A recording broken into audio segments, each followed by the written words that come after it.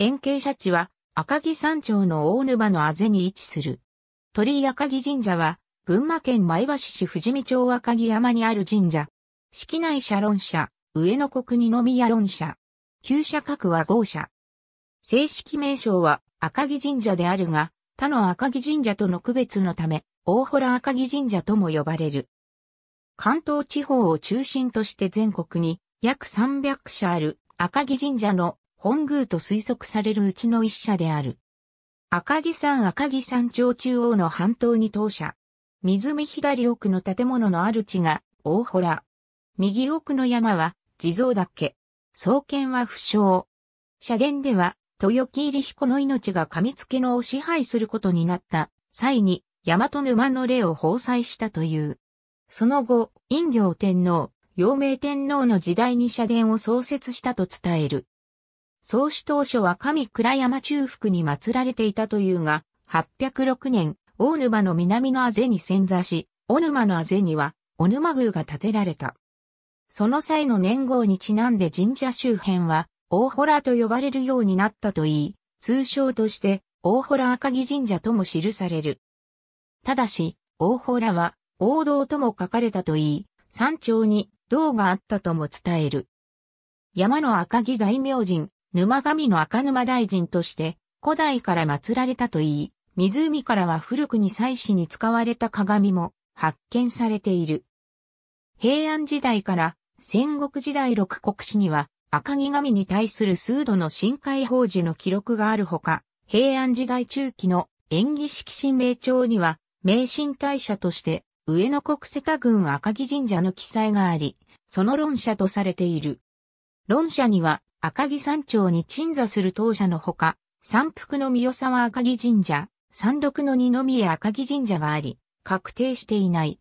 当社は赤城神社の三宮と推定されている。三宮は神仏集合期に主権者が各地の霊山に登り修行の場とし、彼らの信仰の中心地となったことで展開していった。また、武家政権の出現は、朝廷、国司の権力の低下を意味し、里宮の経済力を衰退させた。この結果、演技式内社として、信仰の中心だった里宮が衰え、三宮と三経路の中心、中社の勢いが強くなっていく。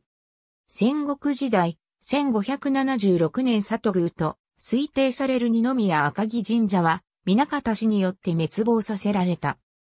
ただし当社が唯一の三宮とされるわけではなく、三代沢赤城神社も二宮に対する三宮とされることもあり、赤城神社の三宮、里宮ははっきりしていない。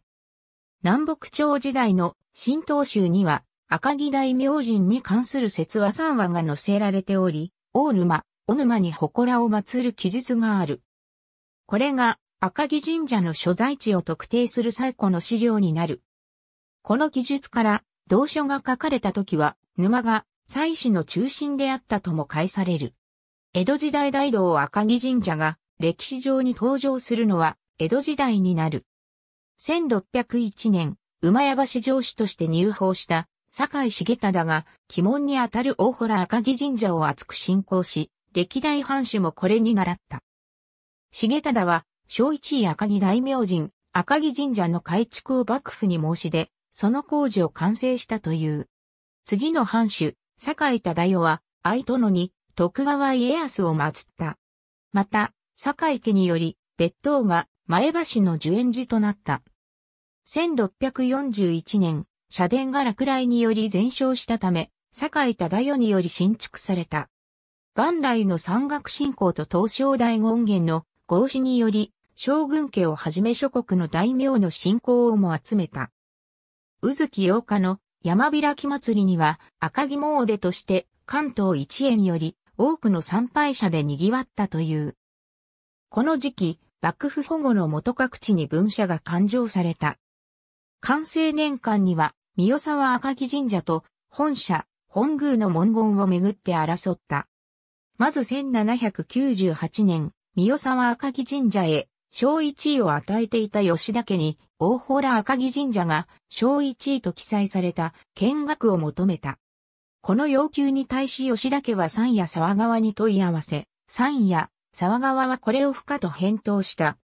しかし翌年、吉田家と対立していた神義博白川白王家が上野国葬社大道赤木神社の額面、本社、本宮と記載された添え状を大洞赤木神社へ奉納した。そしてこの額面は例年前橋で行われていた戦時官の恩護会長の時に会長されることになった。三夜沢川は強く反発し、1800年、大洞赤木神社別当、樹園寺及び白川白王家を相手に会長差し止めを含んだ訴訟を起こした。領主の川越藩主松平氏が仲裁に入り、当該学面は封印の上で、大洞の例年のご会長自体は予定通り行われた。しかし論争は終わらず、1802年には三夜、沢川が幕府の自社奉行へ訴え、国元で解決すべしと下げ渡されている。結局、期待は内陣へ収め、文言使用を合議で決めるという和議が、両者間でなったのは1816年であった。明治以降、明治時代の廃仏希釈により、樹園寺と切り離され、地元で廃仏希釈を進めた人々の中から新たに神官を任じた。また300年以上にわたる赤木山の厳しい気候によって荒廃した社殿の改築が起とされる。しかし実現しなかった。明治20年から43年の間に、小沼の豊家神社、小鳥ヶ島の厳島神社、黒部山頂の皇王神社をはじめとして、赤木山内数社が合祀された。また、近代社格制度においては豪社に列した。三代沢、大洞、二宮の三社を合わせて国兵駐車にしようとする動きもあったが、終戦により実現はしなかった。1970年、現在の小鳥が島に潜座し、社殿が現存するものへ再建された。この際に、小鳥が島の環境を破壊するとして、反対運動が起こっている。2006年大道五千宮線200年祭を機に大修復がなされた。シャチは1970年に旧シャチの大洞から移された。現在の社殿はその際の再建。小鳥が島には小鳥が島遺跡として南北朝時代の京塚遺跡がある。大安五年名のホッケ業埋能を示す多方等下の地中から同郷筒の残血と鏡十面が出土した。これら出土した鏡は神仏集合における信仰を表すものとして、宝刀、鏡筒残血とともに群馬県の文化財に指定されている。ありがとうございます。